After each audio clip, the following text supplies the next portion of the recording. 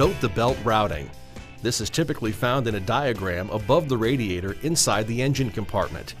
If there is no routing diagram, you can check the back of your belt sleeve. Or else you'll have to observe the old belt's routing and draw your own diagram. Remember, trying to install a new belt without awareness of proper routing can lead to incorrect installation and extend the time to complete the job. Use one of the following tools a breaker bar, ratchet and socket assembly, combination wrench, or serpentine service tool in or on the tensioner arm lift feature. There are three main types of lift features 3 8 or half inch square hole, cast lug on the tensioner arm, pulley bolt. On the applications that use the pulley bolt feature, the pulley bolt thread direction, right or left, is designed to tighten the bolt as the arm is lifted away from the belt.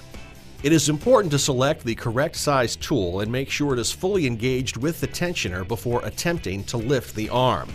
Caution, take care to place the wrench on the tensioner in a position that will allow the tool clearance as the spring forces the tensioner to the stop. Failure to do so may pinch your hand or trap the tool.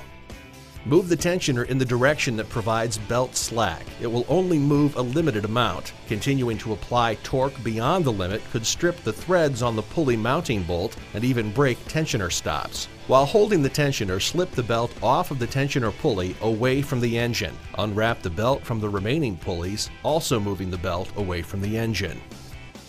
To remove the tensioner, remove the mounting bolt or bolts, then remove the tensioner from the engine.